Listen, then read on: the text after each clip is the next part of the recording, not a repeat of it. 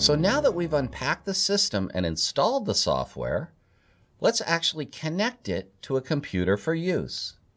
The Ethernet cable by default is used in the right-hand port. This port is labeled either NIC 1 or NIC out depending on the system you have.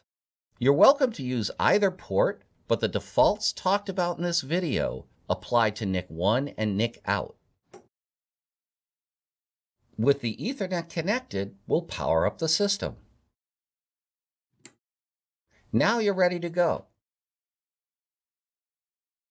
The default IP address is 192.168.100.2. Let's ping the I.O. module to ensure we have network connectivity between the PC and the IOM.